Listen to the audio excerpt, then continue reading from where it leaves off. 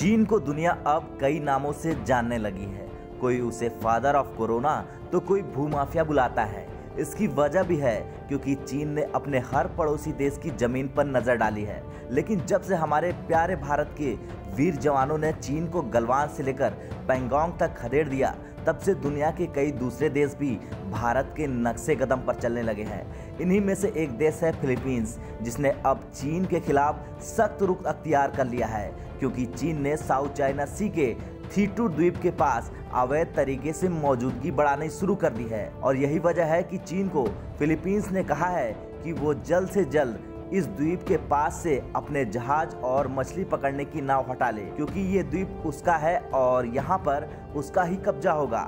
लेकिन इसमें एक बड़ा ट्विस्ट है। वो ये है कि हर बार की तरह इस बार भी चीन ने अपनी संप्रभुता का दावा करते हुए कहा कि वो इस क्षेत्र की रक्षा करेगा। मतलब साफ़ है कि चीन अब फिलीपींस के इस द्वीप को भी कब्जा करना चाहता है।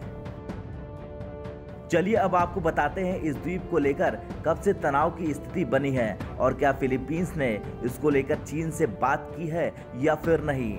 दरअसल रणनीतिक रूप से महत्वपूर्ण इस क्षेत्र में दोनों देशों के बीच इसको लेकर करीब एक महीने से अधिक समय से तनाव है। और फिलीपींस में विदेश विभाग ने कहा है कि उसने चीन की लंबे समय तक उपस्थिति और मछली मारने की नावों की अवैध गतिविधियों के खिलाफ राजनयिक विरोध दर्ज कराया है। उसने कहा है कि चीन को द्वीप के पास से अपने जहाज़ वापस बुला लेना चाहिए, जो फिलीपींस का आंतरिक हिस्सा है। वैसे अभी कुछ दिनों पहले ही फिलीपींस ने साउथ चाइना सी में कुछ द्वीपों के नज़दीक सैन्य अभ्यास किया था। इसकी वजह है कि चीन बार बार उसके द्वीपों पर अपना अधिकार जताता रहा है। और इसी को लेकर फिलीपींस ने अपने कोस्ट गार्ड, यानी पीसीजी, ब्यूरो ऑफ़ फिशरीज और इससे जुड़े संगठनों के लिए यहाँ आठ जहाज़ तैनात कर दिए थे। फिलीपींस ने ये सैन्य अभ्यास बाजो डी मासिन लोक और पैग आशा द्वीप के करीब किया था, जिसके बाद भूमाफिया चीन बौखला गया और उसने इस पर कड़ी नाराज़गी ज़ाहिर की थी।